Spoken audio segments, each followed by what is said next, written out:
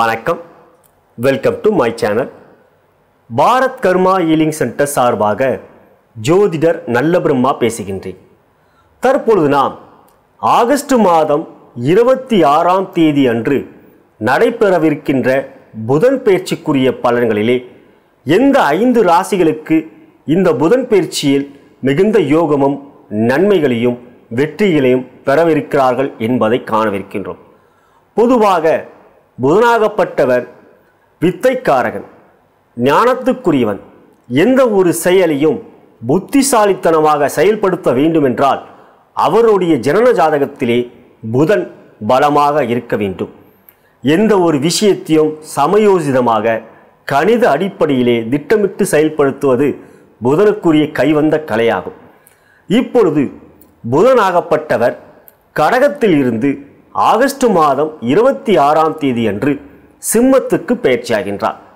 August மாதம் இருபத்தி ஆறாம் தேதி முதல் செப்டம்பர் மாதம் பத்தாம் தேதி வரை புதனாகப்பட்டவர் சிம்மத்தில் இருக்கின்றார்.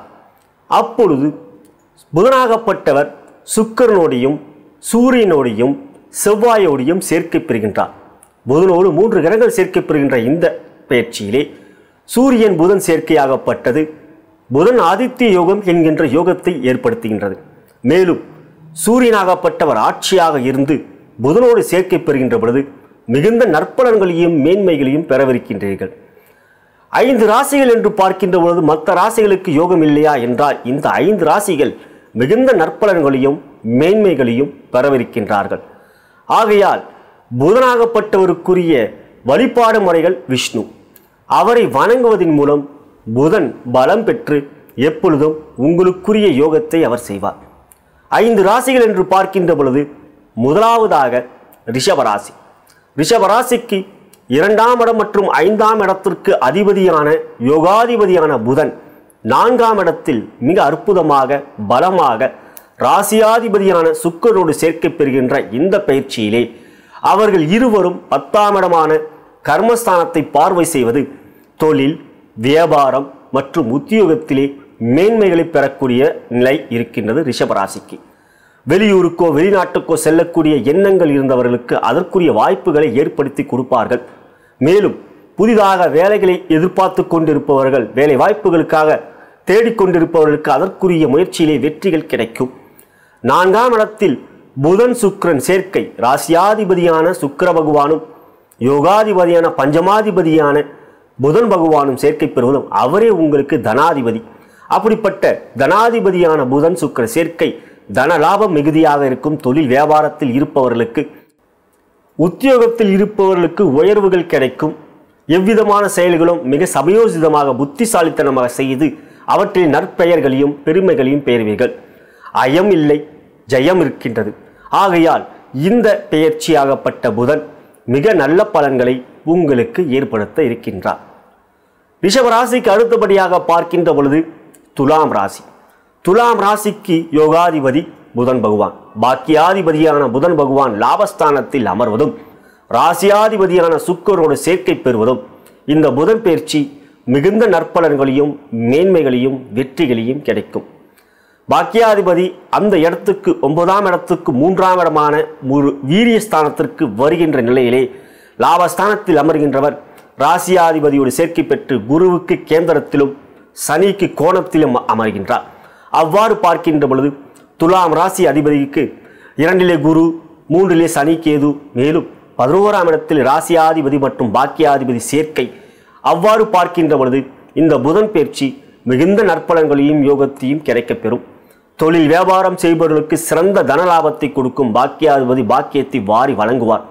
அவ்வாறு உங்களுக்கு நல்ல யோகங்கள் மிக சிறந்த பலன்கள் வியாபார அபிவிருத்தி தொழிலிலே முன்னேற்றம் இவையெல்லாம் இருக்கும்.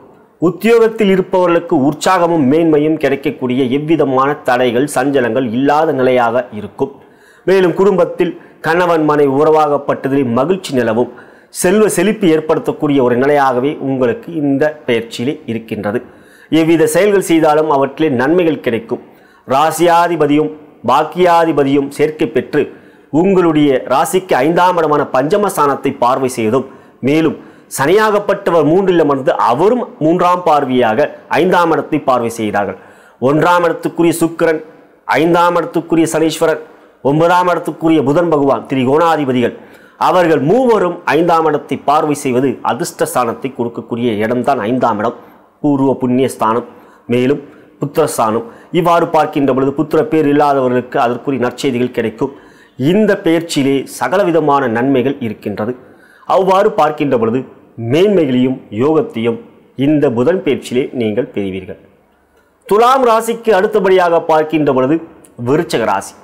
விருச்சக ராசிக்கு அதிபதி செவ்வாய் பகவான் என்றாலும் உங்கள் ராசிக்கு அதிபதியான செவ்வாய்க்கு பகை கிரகம் புதன் என்றாலும் அவர் பத்தில் அமர்ந்து சுக்கிரன் புதன் சூரியன் செவ்வாய் போன்றவர்களுடைய சேர்க்கை மேன்மைகளையும் நன்மைகளையும் தொழில் ரீதியாக வியாபார ரீதியாக உத்தியோக ரீதியாக அதிகமாக பெறக்கூடிய அமைப்பாக இருக்கின்றது. ஏழரை சனி ஜென்ம குரு இவையெல்லாம் இருந்தாலும் இந்த புதன் பயிற்சியிலே உங்களுக்கு சாதகமான நாட்களாகவே இருக்கும். அவ்வாறு பார்க்கின்ற பொழுது தொழில் வியாபாரத்தில் மிக சிறந்த தனலாபம் மிகுந்த வீரியம் எந்த ஒரு செயலியும் திட்டமிடுகளிலே கெட்டிக்காரத்தனம் இருக்கும். ஒவ்வொரு விஷயத்தையும் சமயோசிதமாக எவ்வாறு செய்ய வேண்டும் என்பதிலே புத்திசாலித்தனமாக ஈடுபட்டு அவற்றில் யோகத்தை பெறுவீர்கள். உத்தியோகத்தில் இருப்பவர்கள் உயர்வுகளை பெறுவீர்கள். புதிதாக வேலைவாய்ப்பை எதிர்பார்த்து கொண்டிருப்பவர்களுக்கு சாதகமான நிலையாக இருக்கும். சஞ்சலங்கள் இல்லாத மனக்குழப்பங்கள் இல்லாமல் இருக்கக்கூடிய பயிற்சி தான் இந்த புதன் பயிற்சி அவ்வாறு உங்களுக்கு நன்மையும் மேன்மையும் கிடைக்கக்கூடிய அமைப்பாகவே இருக்கும். விருச்சக ராசி அன்பர்கள் இந்த புதன் பயிற்சியிலே மிகுந்த நற்பலன்களையும் யோகத்தையும் பெறுவீர்கள். விருச்சக ராசிக்கு அடுத்தபடியாக பார்க்கின்ற பொழுது மகர ராசி. மகர ராசிக்கு அதிபதி சனீஸ்வரர் என்றால் யோகாதிபதிகள் சுக்கிரன் மற்றும் புதன் ஐந்துக்குரிய சுக்கிரன் மற்றும் ஒன்பதுக்குரிய புதன் சேர்க்கை பெற்று எட்டில் அமர்ந்திருக்கிறார்கள். மறைந்த புதன் நிறைந்த தனம் என்பார்கள். எனவே தன லாபம் அதிகமாக இருக்கும். போஜன சுகம் சயன சுகம் நன்றாகவே இருக்கும். மேலும் இரண்டாம் இடம் என்கின்ற தனஸ்தானத்தை தனாதிபதி என்று அழைக்கப்படுகின்ற புதன் பகவான் பார்க்கின்றார். சுக்கரோடு சேர்க்கை பெற்று. எட்டாம் இடத்தில் சூரியன் செவ்வாய் இருக்கின்றாரே என்று கவலைப்பட வேண்டாம். இந்த பயிற்சியிலே புதனாகப்பட்டவர் அனைத்து விதத்திலும் உங்களுக்கு நற்பலன்களையும் மேன்மைகளையும் யோகத்தையும் செய்வார். தொழில் வியாபாரத்தில் இருப்பவர்களுக்கு பஞ்சமாதிபதியான சுக்கிரன் பாக்கியாதிபதியான புதன் சேர்க்கை மிக சிறந்த தனலாபத்தை கொடுக்கும். இரண்டாம் இடத்தில் இருவரும் பார்வை செய்வதனால் உத்தியோகத்தில் இருப்பவர்களுக்கு உற்சாகம் கிடைக்கும். எவ்வித செயலிலும் தடைகள் இல்லை. மிக புத்திசாலித்தனமான கூர்மையான சிந்தனைகள் இருக்கும். அவை உங்களுக்கு நன்மைகளை ஏற்படுத்தும். மேலதிகாரிகள் சக ஊழியர்கள் பாராட்டியும் நற்பெயரையும் நற்பெருமையும் பெறுவீர்கள். நல்ல செயல் செய்வீர்கள். அவற்றுக்குரிய நற்பலன்களையும் பெறுவீர்கள். திட்டமிடுதல் சரியாக இருக்கும். முயற்சிகள் வேகமாக இருக்கும். அதற்குரிய நன்மைகளையும் உழைப்பிக்கேற்ற பலன்களையும் பெறுவீர்கள். எனவே மகர ராசி அன்பர்களுக்கு இந்த புதன் பயிற்சி மிக அற்புதமான நற்பலன்களையும் மேன்மையும் கொடுக்கக்கூடிய அமைப்பாகவே விளங்குகின்றது. மகர ராசிக்கு அடுத்தபடியாக பார்க்கின்ற பொழுது மீன ராசி. மீன ராசிக்கு அதிபதியான குரு ஒன்பதில் இருப்பதும் ஆறிலே சூரியன் செவ்வாய் இருப்பதும் நன்மை என்றால் இப்பொழுது புதனும் சேர்க்கை பெறுகின்றார். அவ்வாறு பார்க்கின்ற பொழுது ஆறில் அமர்ந்திருக்கின்ற புதன் வெற்றிகளை கொடுப்பார். எவ்வித செயலிலும் போட்டிகள் இருந்தால் அவற்றை எவ்வாறு எதிர்கொள்ள வேண்டும் என்கின்ற ஆற்றலை கொடுப்பார். பொதுவாக புதனாகப்பட்டவர் ஞானத்தை கொடுக்கக்கூடியவர். எவ்வித செயலிலும் எவ்வாறு செய்ய வேண்டும் என்பதை ஆராய்ந்து துல்லியமாக கணிக்கக்கூடிய திறமையை கொடுக்கக்கூடியவர். எனவே இந்த புதன் பயிற்சியிலே திறன்கள் அதிகமாக இருக்கும் செயல்கள் வேகமாக இருக்கும் நற்பலன்களையும் மேன்மைகளையும் பெறக்கூடிய அமைப்பாக இருக்கும். தொழில் வியாபாரத்தில் இருப்பவர்களுக்கு போட்டிகள் இல்லை வெற்றிகள் இருக்கிறது. மேலும் தன லாபமாகப்பட்டது மிகுதியாக இருக்கும். மேன்மைகளையும் வெற்றிகளையும் வியாபார அபிவிருத்தியும் செய்யக்கூடிய சிந்தனை திறன் இருக்கும் அவ்வாறு பயிற்சிகள் இந்த பயிற்சியாகப்பட்டது உங்களுக்கு மிக அற்புதமான நன்மைகளை கொடுக்கக்கூடிய அமைப்பாக இருக்கின்றது. கணவன் மனைவி விஷயத்தில் சற்று விட்டு கொடுத்து செல்வது நல்லது.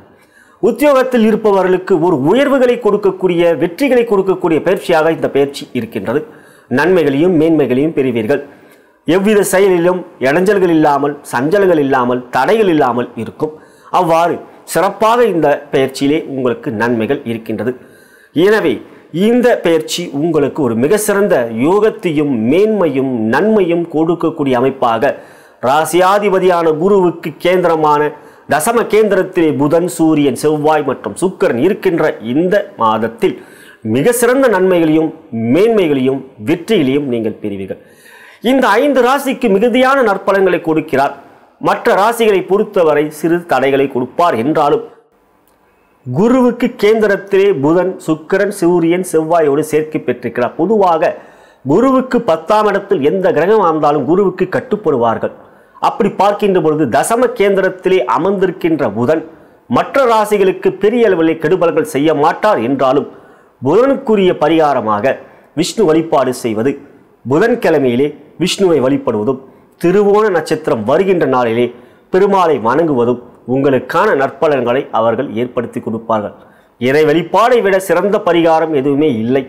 அவ்வாறு இந்த ஐந்து ராசியை தவிர்த்த மற்ற ராசிகள் இந்த பரிகாரத்தை செய்வதும் இந்த ஐந்து ராசிகளும் நான் கூறியவாறு விஷ்ணு வழிபாடை தொடர்ந்து செய்வதன் மூலம் மேன்மைகளையும் நன்மைகளையும் பெறுவீர்கள். இங்கு குறிப்பாக ரிஷபம் துலாம் மகரம். இந்த மூன்று ராசிகளை பொறுத்தவரை யோகாதிபதியாகவே புதன் வருகிறார். அதற்கு அடுத்தபடியாக பார்க்கின்ற பொழுது விருச்சிகம் மற்றும் மீனம். இவர்களுக்கு புதன் பகையாக வந்தாலும் இந்த பயிற்சியிலே நற்பலன்களை செய்வார்கள் என்று கூறி நான் வணங்கும் குருமார்களும் சித்தர்மார்களும் நான் வணங்கும் பார்வதி தேவியும் சிவபெருமானும் இந்த புதன் பயிற்சியிலே அனைத்து ராசி அன்பர்களுக்கும் சகலவிதமான மேன்மைகளையும் யோகத்தையும் சந்தோஷத்தையும் வெற்றியும் தருவார்கள் என்று கூறி விடைபெறுகிறேன். நன்றி வணக்கம்.